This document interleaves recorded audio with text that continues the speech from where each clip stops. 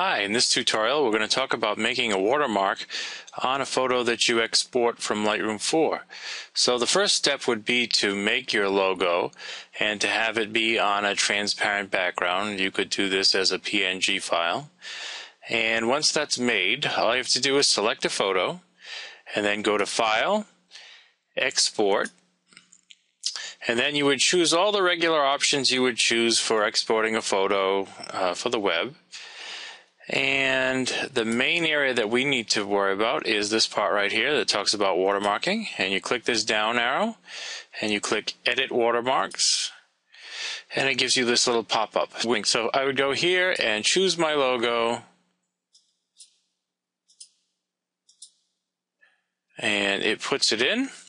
Now, down here, we have some more options. You can choose to fit it to the screen where it makes it large and fit all the way across. You could choose to fill it where it makes it really large and fills the entire area.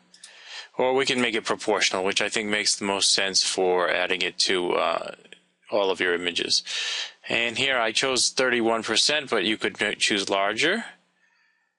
Um, and then a little lower, you can even adjust these sliders to move it left and right, or this slider to move it up or down.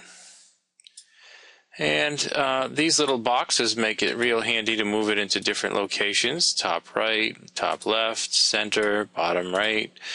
And this one will make this one say bottom right. And then when you think you've got it all right, you just click save as a preset and you give it a name. I'll call this one GCC uh, light and bottom right.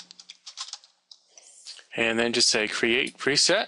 And then we can export the picture. Uh, we have to tell it where to put the picture when it exports it. So pictures. And select that folder.